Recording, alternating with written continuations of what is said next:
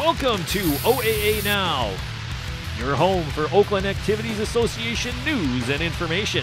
Here's your host, Sammy Taormina.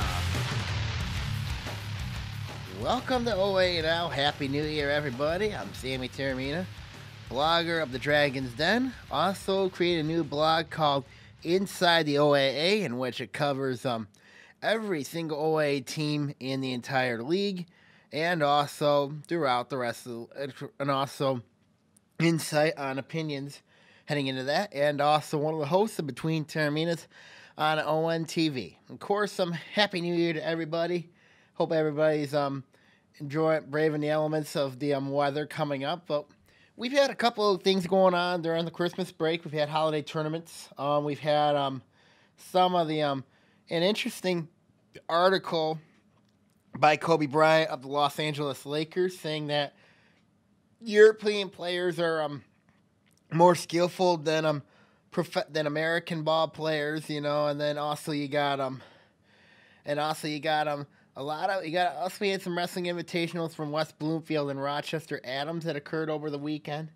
Um but let's go first, let's go with the um interesting comments and of course also in my new blog, you know, I wrote about Jim Harbaugh and his impact and he should and I think he should be looking at a couple OA players, and I also think Michigan State football coach Mark Dantonio should also be looking at a couple football players as well, heading in um, a couple OA players um, that I think would be very interesting and interesting fit for um, some of these players. So we're gonna go football first. Of course, um, football season, of course, ended. I was very disturbed by Scott Bernstein, who of the Oakland Press, who wrote on his blog Bernie's tweets. You know that that um he wrote his top 10 football players heading into 2015. You know what? It's January for God's sakes. You know what I mean? You got all summer to write about these players. You know what I mean? It's it's we haven't even went, went to spring yet for God's sakes, and you're writing about football already. Jeez Louise. I mean, like I understand you want to get hyped up and everything, but still, it's too early to think about football. You know what I mean? you know, it's it's he's still in basketball season, wrestling season. You know, you still have to deal with baseball season, softball season, track season. I mean, like lacrosse season. I mean, those other sports. You know what I mean? I know. I understand. A lot of people say football is king. You know what I mean? And it is, but but to write about players early, you know what I mean? It's dangerous because you know you still have kids that are that are that are playing other sports that are going to be real, I mean like they're just focused on their sport right now not just um not just football you know there were some interesting um, names on that list you know what i mean that i've um looked at and of course you know Trishton Jackson he's one of the players i think he i think he's fitly right right there at number three and his blog um and um nolan erickson of clarkston's on there you know what i mean so you know, but it's like I said, it's early, you know what I mean? And you got all summer, you know what I mean? You got all summer to basically look at these teams to get a good idea what they have. I mean, like, like I said, if I'm Scott Bernstein, I'm laying low from football right now because we just got done with the season in November, and yeah, all December, January, February, March, April, May, I mean, I if I'm you, I'm probably starting talking football probably in June. You know, that's what I'm saying. You know what I mean to some of these experts. Now, speaking of football recruits, of course, um, of course, everybody knows about the big day, big coaching um hire at Michigan with Jim Harbaugh going over there. You know, when I look at that move for Jim Harbaugh on Michigan, I think it's a good move because here's a guy that's going to bring instant recruits over to Ann Arbor you know, and he, I mean, like, they only got six recruits over there. Unfortunately, there's none in the OA right now. I mean, it could change because, you know, one of the top players that, that um, everybody's been looking at, of course, is um, John Kelly of Oak Park. And he's one of those guys that I think would look perfect, I think, in either maize and blue or even green and white. You know, heading into the year. I mean, like everybody's been high on Mike Weber, but let's look at it from this way. Mike Weber's already made his mind up. He's going to Ohio State. I'd be really surprised if he changed his college commitment back to Michigan. He did, he committed from Michigan once Brady Hoke got fired. And here's a guy that and here's another guy like in John Kelly, you know what I mean? He's got he's a Weber Mike Weber less player. You know what I mean? He can be he can he can he has the skill set I think to match up with what Mike Weber has. And and I'm surprised that nobody's talked about him. You know what I mean? I know he's gonna make a decision by signing day, of course. Um, it's coming up in February, but there's some other players around the OA that I think that both Michigan, Michigan State, all these other schools have got to look at too. You know what I mean? I know a couple have already committed already to other schools. Like um, I'm not sure where Maddox or um, where Adam or Nick Maddox going, where Amax going. I mean, I know his brother's at Western Michigan, but um, I think his brother Adam would look perfect. Would would be perfect if he played alongside his brother. Maybe go to Central. You know what I mean? Dan Enos a good coach up there at Central. And I mean, like, um, but um, there's a couple kids that um, I think would look would look would do very well in Division One schools that I think that these teams need to look at. I mean, like, I look at Michigan State, Michigan. You know what I mean? Or in all the other schools. You know, a couple of these kids in the OA. Um, I think a perfect perfect fit would be when you look at um when you look at it is um I think Colt Chewins, you know what I mean? He's one of those players that um you know, he's going he committed to my he committed to Miami, you know, but it but he could change his mind, you know what I mean, like in a heartbeat cuz I know Michigan State just offered him scholarship to play over at East Lansing and you know, I think if you look at it from a I mean like from a football team standpoint, if you get offered by a Big 10 school, you go play in the Big Ten. You're a Big Ten caliber player. You know what I mean? Well, Chewins, of course, Miami of Ohio. Of course, um, I didn't think Miami of Ohio's that good. You know what I mean? For starters, you know, I think that, you know, I think it'd be an. I mean, but I guess Chewins likes the situation over there in Miami Ohio. You know what I mean? But um, but if he goes to Michigan, if he changes his commitment to go to Michigan State, it wouldn't surprise me because it would be because you would have a tight end type player. He's had a heck of a senior campaign over there at Clarkston. He's led into a state championship. I think when you look at it here, I think he's one of the guys you got to look at. I think for a good scholarship, you know what I mean, would be a perfect, he'd be a perfect opportunity. You know, Kelly would be one, Chewins two. You know, other players I look at possibly. Heck, I would look at DJ Zazula himself. You know, I mean, DJ Zazula, the quarterback at Clarkston. And a lot of people are going to compare him to Sean Charette of Lake Orion. Um, I mean, like, the problem with Zazula is his size. He's got the heart. He can throw the ball down the field, and he's a successful, and he's won two two state championships. And I'm surprised that nobody is looking at him. No Division One schools are looking at him. You know, and that's and that's a shame because you know a lot of people. I felt personally when I'm sure when Sean Charette, you know, he won a state title. Of course, you know, he had a nice senior season. You know, I was surprised he didn't go D1. And it's kind of shocking. You know what I mean? If I would compare DJ Zazula's numbers to Alex Malzone at Michigan right now, I think Zazula, in my opinion, is a better quarterback than Alex Malzone. And that and that's saying something right there. And you know, Malzone is one of the top quarterbacks in the state. You know, but I still think DJ Zazula is right up there. And I'm and I'm disappointed in these Division One schools that they would not recruit DJ Zazula to play in Division One schools. I think he's I think he would be a perfect fit for a um, for a team that would who has a small size quarterback. You know what I mean? I think it would be perfect. You know, for a new regime. You know what I mean? Because you know there's a couple new regimes over there. You know, I think Florida would be perfect. I think because like because I know Jim McClellan, their coach over there, like to run a a spread type situation. I think Zazula can run a spread offense. I think it would be a perfect fit for him. You know what I mean? But that's just my opinion. Running a running back here. I'm a little surprised is not getting looks. Is um is a Matt Kraus of Lake Orion because you know Kraus has had a heck of a he had a big year last year, senior season. You know, unfortunately, the Dragons didn't go to the playoffs, but here's a guy that run rushed for nearly two thousand yards, and and for him not to go to possibly and for him not to get a scholarship instead preferring to walk on you know it's disappointing right there i think you know there's a lot of other players in the league. Of course, Obi Jackson going to Western Michigan. That's an interesting move right there. I'm curious to see how he does over there in Kalamazoo. Um, when you look at it, and then there's some. I know Clarence Baraklas. Um, I think that um, he's another good running back. I think he should be a D1 school. He's a hard runner. He works hard. I mean, like I think he would be perfect to play. I think in a Division One school, you know, but also got D two schools, you know, D three schools. I'm not picking not picking on them, but I'm just saying some of these players should be D one or D one caliber players. Um, another guy that I mentioned, you know, that could that was very disappointing that didn't get a scholarship offer, you know, Division One scholarship offer was Joe Platts of Stoney Creek. You know what I mean?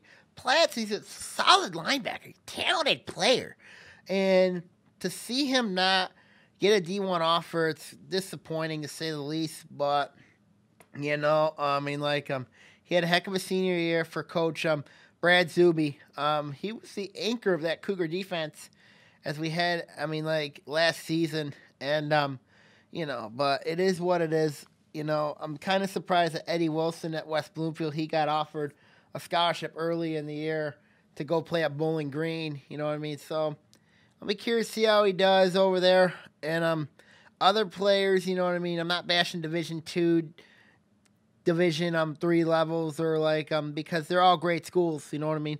That some of these um senior senior players are going, but um, I still think a couple of those players should have been like Division one talent and capable talent over there at um over at um you know, and like, and of course, a lot of people are going to go after probably John Kelly, who's the big fish over there at Oak Park.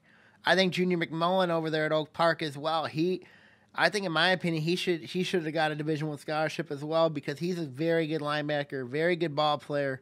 You know, he's very talented. Of course, um, earlier in the year, of course, um, hearing the news about Desmond Kirkpatrick um committing to Louisville f- to play his college, and he's a senior next year to me, it's kind of a surprise because when you look at Kirkpatrick, um, this year he really didn't play the competition that that Farmington was supposed to to play with. You know what I mean? I'm kind of disappointed in that situation where Farmington ended up running the table.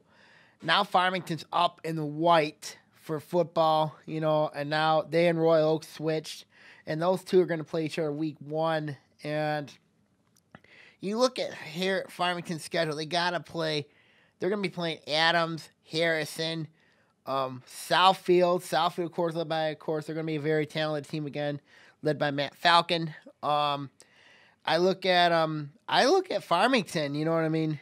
I think Farmington might not make the playoffs next year in 2015. I just don't think they'll make the playoffs because when you look at what they've got in the schedule, I know they're talented. They got David Reese, they got. Um, Desmond Kirkpatrick, you're replacing a quarterback, a running back. That's going to be tough. And then your schedule's absolutely brutal because you got to play Southfield, Adams, Harrison, and then that week nine crossover game. And if it's, I'm thinking, I'm thinking if it's Oxford, I think Farmington's in a lot of trouble because when you look at the Wildcats, they're well coached. Bud Riley's done a good job over there. I know they're replacing a lot of key players, but they run a system in place over there.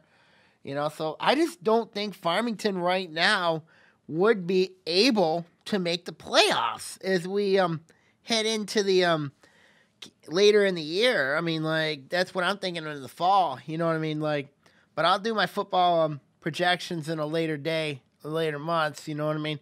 My thoughts, but when I look at recruits, I mean, like um I think Trishton Jackson will no doubt get a um get a big time D1 offer. I think a Division One school will offer him, um, whether it's for football or basketball, because he's that good in both sports. I mean, but there have been a lot of questions with Jackson, um, and um, I'll probably um get with Ronald with um Ronald Bellamy, their coach over at West Bloomfield, over um where Jackson will play next year. You know, a lot of people speculation have been about him is could they move Jackson back to wide receiver or he could play a quarterback. You know I mean? He is a dual threat quarterback.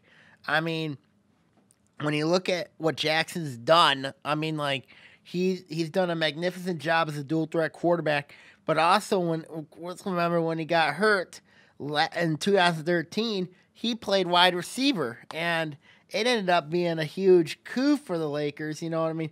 Since they could move a, a skill player theirs to the um, running back position, to the um, quarterback position, and they could fix, you know, put, it can move Jackson to the wide receiver position. There's no doubt about it. I think he will get a scholarship offer heading into um 2015, and um, when it comes to National Signing Day, it'll be very interesting. You know what I mean to see what um.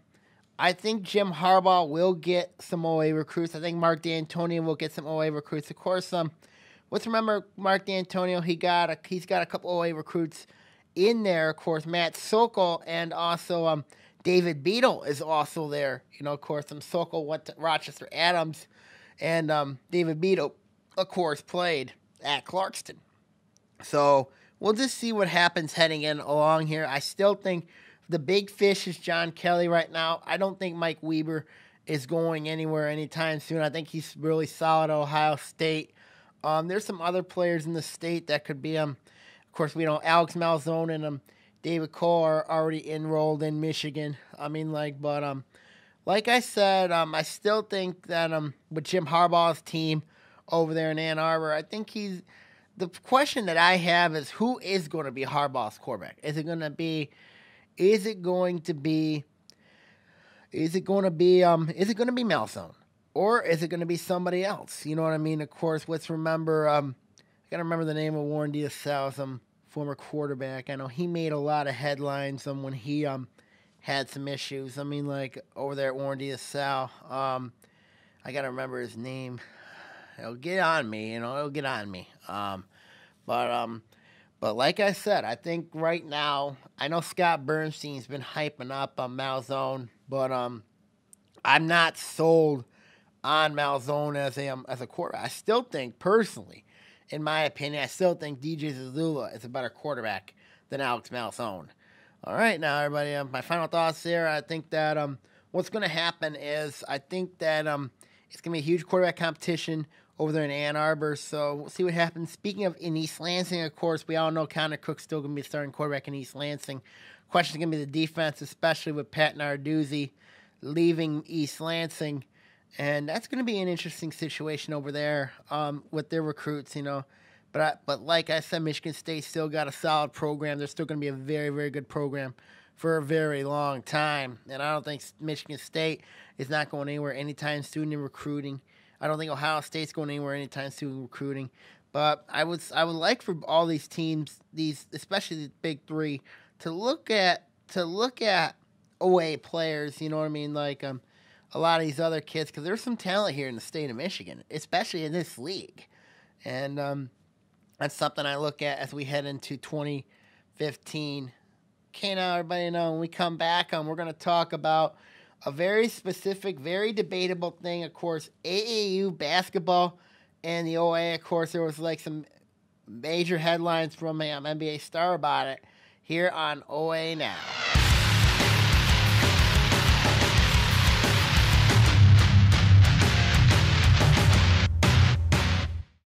You own a Habitat home? I love working on my Habitat home. Soy dueño de una casa de Habitat. My neighbor is a Habitat homeowner. Being a Habitat homeowner has changed our lives. My mortgage payment for Habitat is less than what I pay for rent. Habitat for Humanity of Oakland County currently has homes available with mortgage payments lower than most rent payments. If you or someone you know needs decent and affordable housing, call 248 338 1843 or visit our website at habitatoakland.org.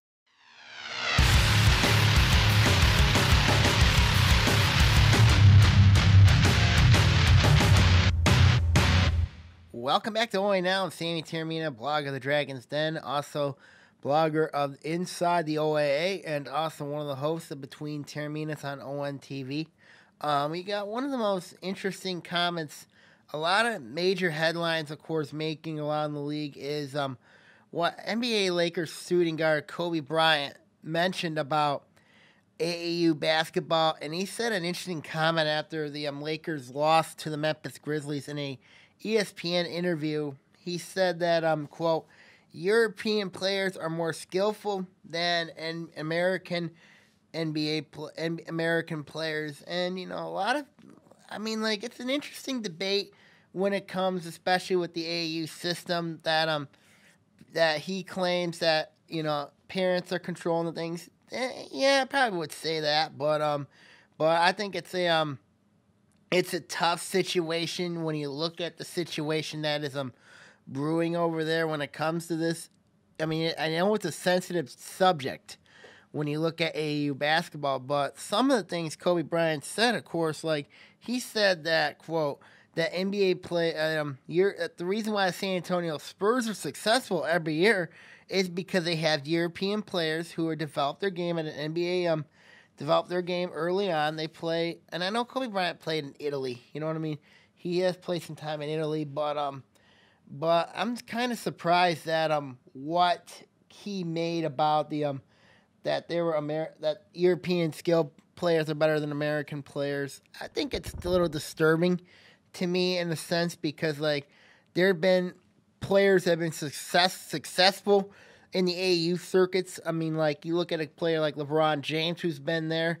Of course, Brandon Jennings has been successful there. You know, when I look at an American um American basketball player, you know, someone will do AU, someone will do other sports, but I don't think all American basketball players are that bad. Yeah, I mean, like, um, but I think that some of the things he que- he questioned um the players' attitudes, you know, thinking that they're all hype, they're all pl- all good players. You know, sometimes you're good, sometimes you're not, and it is basically one of those things that um he attacked, and also he attacked like um the parents, basically like pr- thinking that they could be profiting off their kids. You know, a lot of things.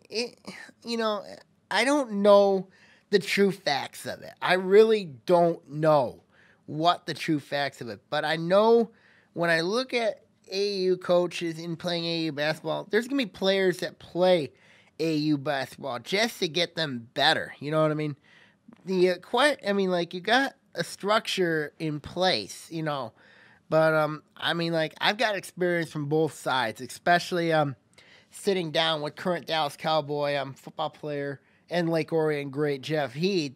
You know, AAU basketball it, it can be a good thing. You know what I mean? A lot of p- parents and players they pay a lot of money to play, to travel, to go to go see these these kids play. I mean, like sometimes it'll get you noticed. Um, it'll get you noticed. It'll get you like get your name out there. But um, when you look at when you look at organized basketball or organized sports, of course, there's a lot of success.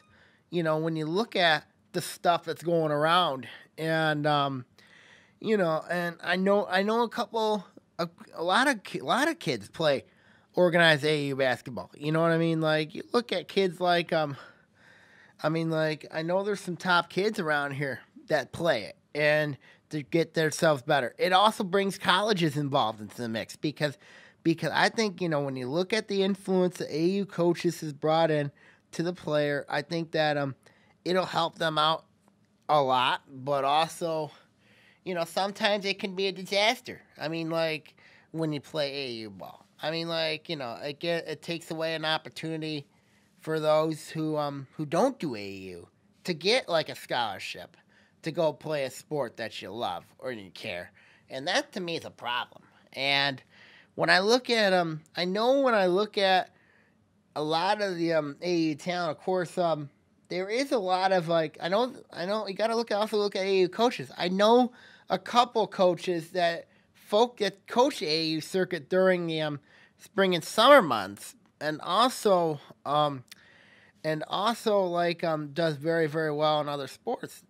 I look at Oak Park and Southfield Lathrop as two of those places. Of course, um, Lathrop's girls basketball team, coached by Michelle Jackson Marshall. Of course, um, I looked at um, interesting um, interesting thing about Antoinette Miller. Of course, Antoinette Miller was one of the um, she was a very good player at Ferndale her freshman year. You know what I mean? To go alongside Mona Ellis, I mean, like over there for Eric Lloyd, and then of course the next year, of course she's she, of course the next year she transfers over to um over to Lathrop. Of course, it happened also with Sabrina Cotton. Also, she also transferred. She transferred out of Troy to go to Lathrop. You know, because it's that connection to the AAU circuit. You know, because Cotton played AU ball for Coach Michelle Jackson Marshall, and you look at Antoinette Miller. She played AU basketball for Antoinette Miller. And of course, that's one of the main reasons I think why Southfield Lathrop's girls basketball program has been good every year is because they get those players, you know, to come. I mean, I mean, she only develop, not only develops those players, but those players want to go and play for her. And I just don't understand why, you know, you know, if you want to be a star in your own right, you know what I mean, like you want to be a star in your own right, I think you stay at your own school and basically win your win a championship there. But in the forming a mega power team over a mega power team, that could be a little bit of an issue. I, and I have a little issue with that. But um, but I but I think the reason why these players go out there and transfer to like a place like Southfield Lake, of course, to play girls basketball, is because not only you're playing for a successful coach, Michelle Jackson Marshall, who also has a state championship in her pedigree. But also, you know, you want to make sure that you want to be the best player you can be. And you want to play with the coach that you really like. And that's one of the reasons why players like to come over there. You know, and I use Lathrop as a perfect example in girls basketball of that situation when it comes to having successful players. You know what I mean? Like, um, you know, like girls like Antoinette Miller, Sabrina Cotton, all transferring over there, and even um, and even gotta remember West Bloomfield's player who was very good, and then she transferred over there to Southfield Lathrop. I mean, I don't know. Oh, Sydney Davis, that's the one. Yep, Sydney Davis also. She played three years at West Bloomfield before transferring her senior year to play at Southfield Lathrop because all those players had something in common. They played AU ball on the same team as, and of course, coached by Michelle Jackson Marshall. And that I think is one of the reasons why Southfield Lathrop is successful, successful every year is because of the transfer rule. You know, I'm kind of surprised that you know the MHA. I'm a little disappointed the MHA has not cracked down on this. I mean, like, I mean, but you know, it is what it is. I mean, they're they're complying to the rules, and it is what it is. Another school that I'm surprised about. I mean, like, to be very sensitive, Oak Park. When you look at the Knights, I mean, like, um, of course, Oak Park, of course, Greg Carter was brought in there, coach football team be the AD. Brought in a coach named Brian Tipton. He coached at um Detroit Cody for the boys basketball team. He took three of his own players from Detroit Cody to Oak Park. Now they had to sit out a semester. One of those players included Kevon Fuller. Of course, Fuller, we all know, is having an incredible junior campaign at Night Valley. But um, you know, you put him together, Roddy Scales, and then they brought in um a couple other ones from River Rouge. Um, was one of them, and um, you know, Oak Park could be a very very scary team. You know what I mean? I think when the with the emergence of the of bringing in a coach, a tr- like an AU type of coach like Tipton is, is it's it's a huge impact. And he got other transfers like Howard McKinnon. He transferred from Southfield to Oak Park. Um, basically, now I know the academic standards are different in every school. You know what I mean? But um, but um, Howard McKinnon's a good player. You know, very good, very talented player. I mean, like, but um, he he. I mean, like when you look at this transfer rule here, I think it's a tough situation. And of course, you know, he got in the girls' basketball. Um, we got Diane Jones over there at Oak Park. She brought in a couple of her kids from um, I mean, like who used to be at Detroit Renaissance. Um, of course, Jones was a successful coach already at Detroit Renaissance, and you know, and then um, she retired for a year, then came back to coach and be the assistant AD over at Oak Park. You know, I'm very curious to see how that that goes. And also, let's go to the track and field circuit. Of course, Oak Park brought in um Art Giles from from um Detroit Mumford, and you look at what he's done. He's got an own AU track and field team over there at Oak Park, and look at what he's did in the in his first two years over there in Night Valley. Oak Park did not have a true track and field team until he took over, and Oak Park was second. In the, Oak Park won the state in girls um track last year. It's shocking. And they're one of the favorites in the boys this year, in both boys and girls. So it's going to be very interesting with Oak Park, especially in track and field, because all those kids are doing track and field year round over there. And that is something, that is why the AAU circuit, I think, has been very, very successful to Oak Park. You know, and I know they develop their players over there. They do. But I think the AAU circuit has really helped both programs at Oak Park and Southfield Lake to, to be very, very successful. And it's showing. It's showing that they're getting all the hype, getting all the media. You know what I mean? I mean, like, it is showing. You know, academic standards are very good at both schools. I think they're very good at both schools. You know, but it is what it is when you look at it. I mean, like, um, when you look at the AAU circuit, of course, Kobe Bryant said, you know, and he mentioned, you know, that the AAU system's not working because they're not developing players. You know, there's some things in his statement that I disagree with what they're doing over at Oak Park and Lathrop, of course. They're developing their players. You know, you notice Kevon Fuller's had him. He struggled a little bit his junior year. He's improved a lot his sophomore year. He's improved a lot in his junior year. Antoinette Miller, now as a junior, I mean, like she struggled. I thought she struggled her sophomore year. She, I mean, even she's starting a she's starting Deja Church. Her point guard, is very, very good. You go along with the Bello twins. I mean, like, I think that AU coaches do develop their players quite well. I mean, like, they'll get them ready. I think for each game. I mean, like, also high school coaches do a very good job at it. You know I mean? A lot of coaches. I think some of the things I agree with Kobe Bryant but there's some of the things I disagree with Kobe Bryant. And the things I do agree with it is one, I think that parents do run the asylum a little bit, you know, but it's very dangerous. It's a very dangerous situation. I ain't gonna even go there. I ain't gonna even go there.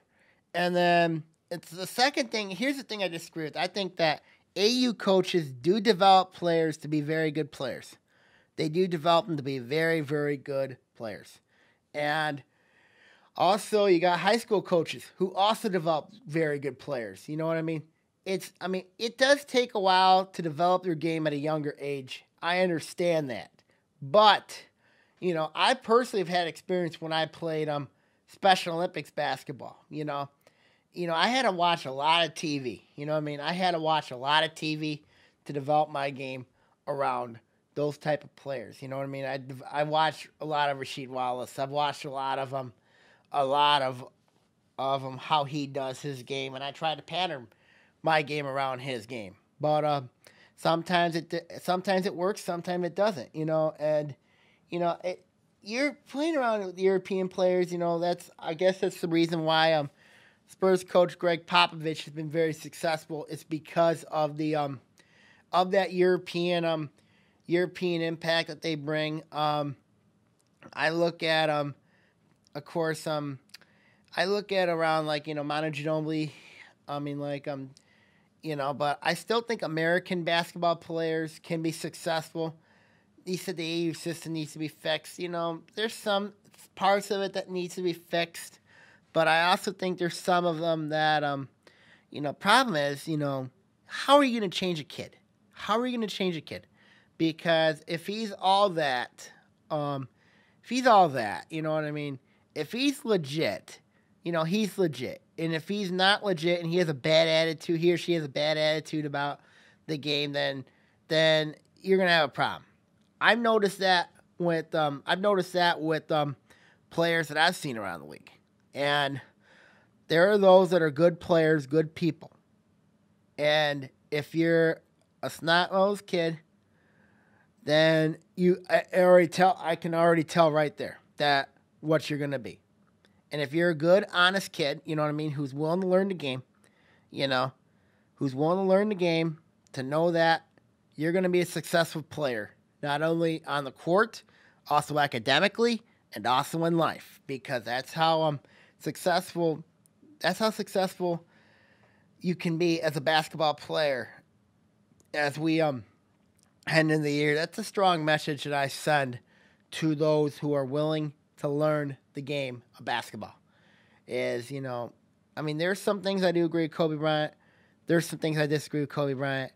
my personal thoughts about it is, you know what, um, I'm gonna leave it at best. You know, you can also check my um blog at Inside the OAA. Get my thoughts personally on um on the A on on the AU circuit. Um, it's a very interesting read. Um, you can go. It's at Sammy Taormina at um blogspot.com. Um, also, you can also take a look at my blog, The Dragon's Den, of course, updating Lake Orion season as well, heading into that. Also, into my blog as well.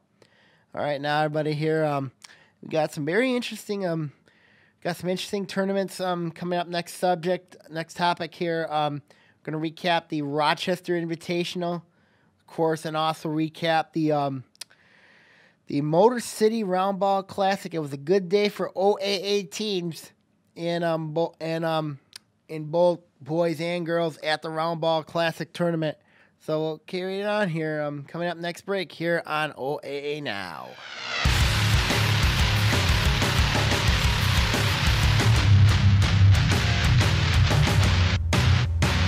Prescription drug abuse is a national epidemic. The new in way to obtain drugs is through parents' or grandparents' medicine chests. Removing prescriptions from your cabinet is the best way to keep drugs out of the hands of our young people. We've got to work together to protect our teens, our seniors, and our environment. Clean out your medicine cabinet today. Please participate in Operation Medicine Cabinet and drop off your unwanted or expired prescriptions at one of our law enforcement drop off sites in Oakland County.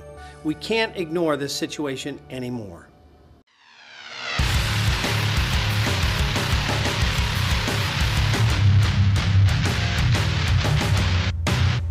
Welcome back to OAA Now. Same Tanner blogger of the Dragon's Den, also blogger of Inside the OAA, and one of the hosts between Taorminas on One TV. Um, you can also visit my Twitter page. I'm at Saginaw Bay.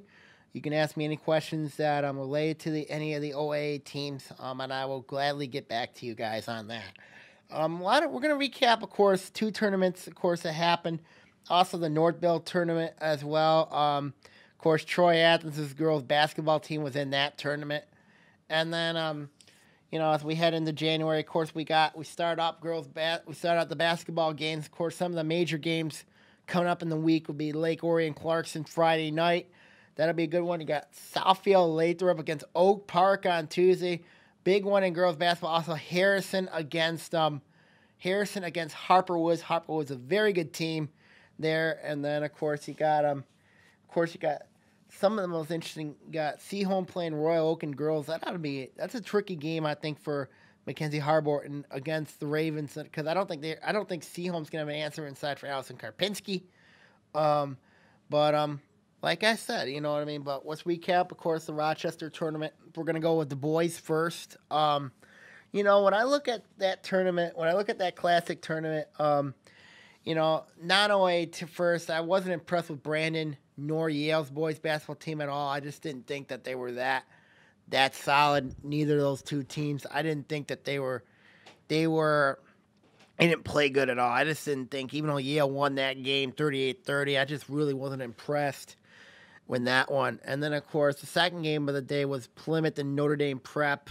Um, that was a good game. I'm gonna admit it was a really good game between um, the Wildcats and the Fighting Irish. Um, Plymouth ended up winning that game. There was a reason why um, you got to give um, I know Plymouth has to go to Oxford later in the year, and that's going to be a tough game for the Wildcats when you look at playing Plymouth. Plymouth's very athletic. They're long, lengthy, solid.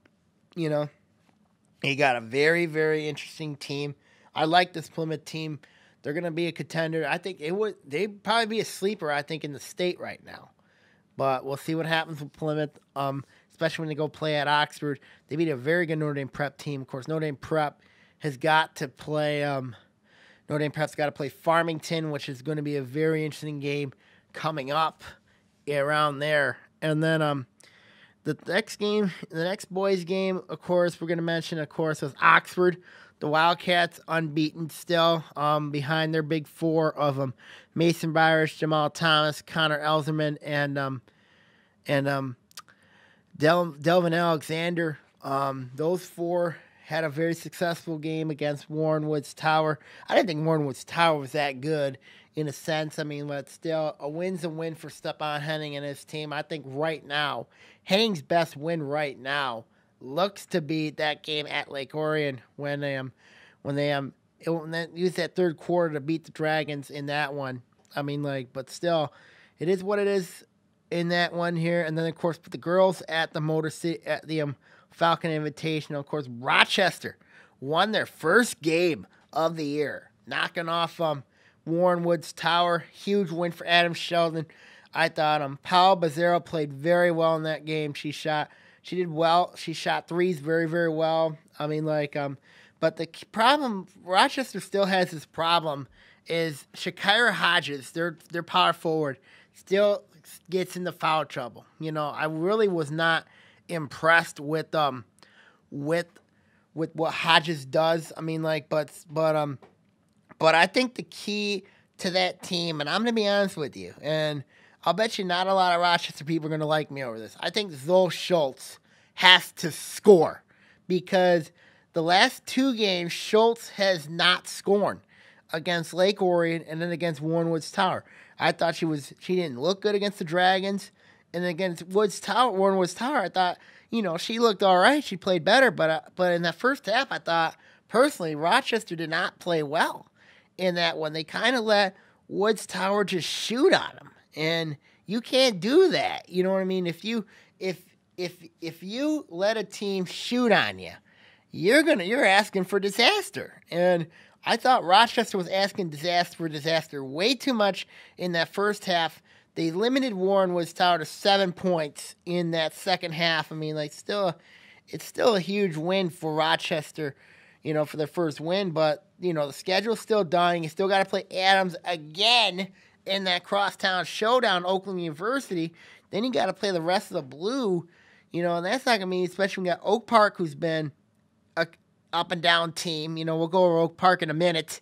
Um, but, um, you know, you got to play Seaholm one more time. You got to play, um, still got to play, you know, you got Groves Farmington, teams he should beat. Um, and you got, um, and of course, you got Royal Oak, who's not a bad team either. Of course, um, Brian Spada's got a very, very interesting team over there. Of course, they're led by Allison Karpinski, Brady, and um, Brandy Horan, um, Bailey Horan. Um, very two two solid players, I think, over at Royal Oak. Um, another game here we're going to mention is Oxford against Notre Dame Prep. You know, a lot of hype surrounds Oxford, a lot of hype. But when you stall the ball for about three minutes, I have a huge problem with that because when you look at that game, I mean, Sky Donaldson had had a nice game. Jessica Murphy was shut down. I gotta give Notre Dame Prep a lot of credit for going a box and one on her, on Jessica Murphy, of course. Um, but with Oxford, I don't think Oxford's that good. You know what I mean? I really don't, because you play seven, eight deep. You know what I mean? I understand you play. You're not deep at all, and the schedule for Oxford is not very friendly. You gotta play Stoney Creek. They still got to play when they get in the league. They got to play Orion, Troy. You know those two teams are going to pressure them. Bloomfield Hills will pressure them, I think. Um, but um, also Avondale, I think could do it. But but when you stall for about three minutes, it's you know if you're playing against a team that's going to really pressure you, you know what I mean. And I expect Stoney Creek to do that, especially because the difference in that game was Stoney Creek did not have Maria Zandi in that game against um against Oxford, and I think that'll be a huge difference right there. And um, is Zandi's presence? I think it's going to give going to give huge problems for Bandis. You know, when I look at it here, I still think that sh- I still think that um Maria Zandi, I think personally, should have gotten a um Maria Zandi should have gotten. I mean, like a um, she'd probably get a scholarship for soccer, but I but if she would have got a scholarship for basketball, it would not surprise me. I still think she's a better athlete than um, Sherilyn Bandis. I think Zandi's a better athlete than Bandis, personally. You know, I still, when I look at the guards in the OA, in the white this year, I think that, I think Hannah Hamay's better. I think that um, Rachel Grecky's better. You know, I think Amanda Moss is better than Bandis right now. I mean, like, I will take the Morton sisters. I think they're better than Bandis. You know what I mean? I mean, like, but um, but Bandis right now is perfect right now for um, for Oxford right now. You know, you got your, of course, you got Murphy and you got Donaldson. Of course, Murphy's of course, you know, a lot of people look at Murphy. She's she's a good player. She, she's a good player. I mean, like, there's no doubt about it. She and Donaldson are two very good players for Steve Emmert. But I really was not impressed with Bandis at all in that one. Of course, of course, got Samantha Maseki who shot um who shot a three pointer in that game against Prep. Um, you know, I kind of really was not impressed with what I saw with Oxford against Notre Dame Prep. Of course, Notre Dame Prep did not have two of their better players. One was on vacation and the other one was hurt. But, you know, still it's an interesting win. Notre Dame Prep still got to play Stoney Creek coming up, and that's not going to be an easy game for them. Um, but Oxford still got to play. They play Stoney Creek first, and then well, that'll be an interesting matchup between them and um Stony coming up. Um, and then of course, um, of course, I forgot to mention in the boys. You know what I mean? Before, I forgot to mention Rochester Stoney Creek in the Falcon Invitational. Of course, John Paulson Cole is the real deal. I mean, my God, twenty nine points, seven threes. I mean, goodness gracious, he just he just lit up Rochester like crazy. I mean, he's part of that um four four um at least everybody in Stoney Creek I know can shoot. I, am just gonna say it right now by Steve Norgrove's team. Everybody on that team can shoot. I mean, you got Arnold can shoot, Logan Arnold can shoot, Scott Rita can shoot, Scott Biter can shoot. Um, you got him. Um, Jack Allen can shoot. Eric Jojen back, of course, he plays the five, you know, but um, he can shoot. You know what I mean? Stoney Creek, I think personally, is the next modified version of Troy Athens, known as the three point happies. You know, so that's something that um I was very impressed with Stoney Creek is they got all, a lot of chemistry. It would not surprise me if Stoney Creek challenges Oxford and West Bloomfield in the blue division. When I look at Rochester, of course, very young, very inexperienced. You know, it's going to be a long year for John Pleasant and his Falcons. They're, I think they're going to struggle in the um, white, and that's not going to be a good thing heading into that.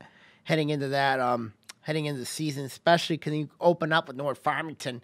You know, that's not going to be an easy game at all in that one. Of course, let's go back to girls basketball. Of course, um, West Bloomfield knocking off um, West Bloomfield against um, yeah, you know what I mean. I was very impressed with um, Charlika Stubbs. Stubbs a very good player. She likes getting the passing lane. You know, I think West Bloomfield has found the replacement for Deja Jenkins and Stubbs. I mean, like, um, she's very good. I mean, like, I would say right now, you know, she's at an early stage of where Deja Jenkins was at. But um, I think she'll be there for the long haul. And um, you got Rachel Harness shooting threes. Crystal Glass, a good player. Taylor Pierce, solid for Zach Hilberts. I mean, I mean, Yale, Yale is not very good. I just think Yale was very good, but I think West Booth, I thought West Booth made a lot of mistakes. I mean, as well in that game, um, but still, Zach Hilberts found a way to win that game, and um, they're going to go on and play. They still got to play Harrison before they open up league play. And that's not going to be an easy situation right there heading into that one. Of course, got the Motor City Roundball Classic um, recapping. Of course, Southfield lost. Um, they beat Howard City, Indiana, um, the boys, and then they lost a tough one, Detroit East English Prep, 90 78. The Blue Jays, of course, they're solid. They got two very good guards. How I mean, and um, Murray Hardy. Um, they got Isaiah Green in the interior. It'd be a good matchup, I think, when they play Lake Orion. Um, it's an interesting matchup because, like, um, we'll see what happens in that one. Um, but Southfield's solid. Southfield Lathrop, of course, losing a tough one, 61-50 to um, Detroit Mumford. Fred John, 29 points. Good player, good rebounder. He can rebound, he can shoot, he can play the he can play well in that one too. Um, Oak Park, of course, um, they won and they they destroyed some people this year in that tournament. Of course, they're led by Kevon Fuller. Of course, I mentioned him earlier in the in the second subject. We talked AAU. Um, He's a solid player. Of course, you got Rodney Scales, who did not play, and you got Howard McKinnis, of course, very good guard for them. You know what I mean? Like, um, I think I expect Oak Park to do some damage. One, I, it would not surprise me. Oak Park is the best boys basketball team in the state, in the league this year. It would not surprise me. Even I would say Oak Park right now is a better team than North Farmington, and that's saying a lot right now when you look at that team. Um, and of course, um, Troy lost to to Ashland, Ohio. Of course, Gary Fralix lost his son, coach at Ashland, Ohio. Tough loss there for Coach Fralick, you know what I mean? Adams, of course, beating him Detroit Consortium 71-57. That was an impressive win. Zach Little, Spencer Littleson, of course, played huge in that game. Um, and then when you look at um, and then of course you got um, and then of course you got um, you know, and then um, you go look at the girls' side of things. You got Oak Park's girls, of course, going um, two, one and two in that stretch. They had a they beat Flint Southwestern Academy, but ended up losing the last two games. Lost to Trenton, and then they lost a tough one the other night. So it, it's gonna be an interesting. Oak Park's an up and down team for Diane Jones. Southfield, Jamie Gantz's team won a t- won an interesting game over McBain, led by Crystal Linda Foe. Um, give them props there, of course. Um, Southfield Lathrop going two and zero in their two games of the Motor City Roundball Classic, beat the, beat Chicago, um, Crete-Monee in overtime, um, and then of course they beat them East Central Chicago. They destroyed them in that game. Um, also, you got and also you know I was very impressed with them. Um, Harrison, Harrison, led by Tim McLash, of course, overcoming Kristen Nelson's foul troubles, winning that game over Chicago Crete-Monee it's a huge win for Tim McLash for what um he wants to do over there at that program, and um and they're solid over there. Of course, North Farmington's girls, of course, won a um one over there as well. Of course, they're led by um Megan Carter. Of course, Megan Carter coming back from injury. She's going to Kent State next year, so that that was an interesting um, scenario there. And of course, you know that was the round ball classics, and then you got Clarkston. Of course, they played a um, individual. They played Ann Arbor Skyline at Clarkston. Um, their boys, you know, I thought, you know, their boys are solid. You know what I mean? Andrew Myers, good player. You got um, Foster Lawyer. I was, you know, he's a good player. He's gonna be a good player. But Mirror Canada's the heart and soul of that team. I mean, like, but you got Josh Nesbitt, who's a very good player.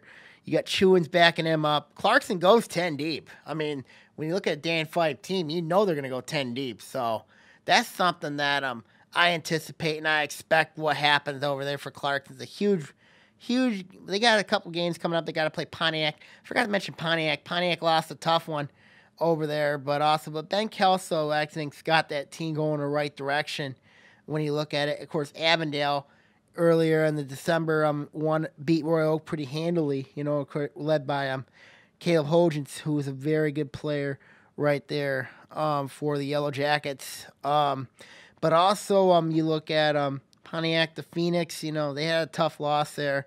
Their girls, it was bad for them. They played Harper Woods, got blown out pretty handily there.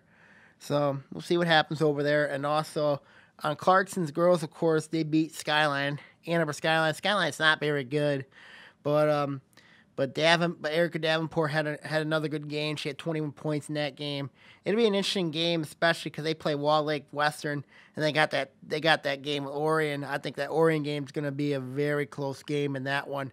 You know, the key in that game, I think, is for the for the Dragon ladies in that one is can the Dragons shut down Erica Davenport?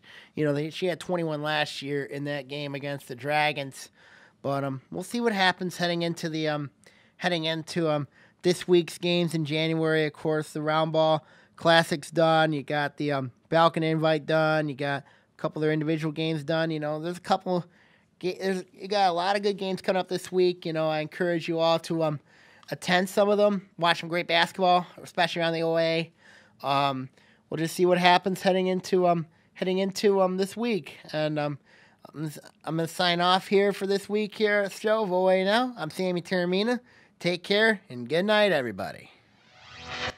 OAA Now is produced at Orion Neighborhood Television, Lake Orion's community media outlet.